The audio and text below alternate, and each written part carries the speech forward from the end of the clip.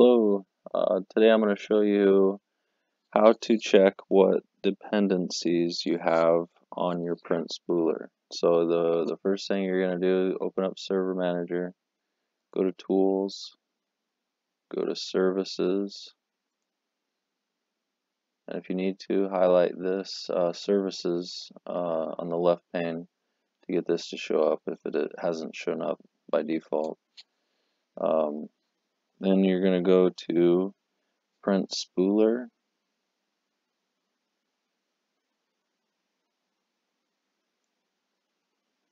And once you found that, double click it.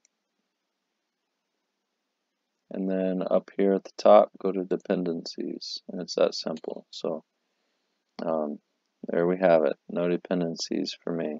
So I uh, hope this helps. Thank you for watching.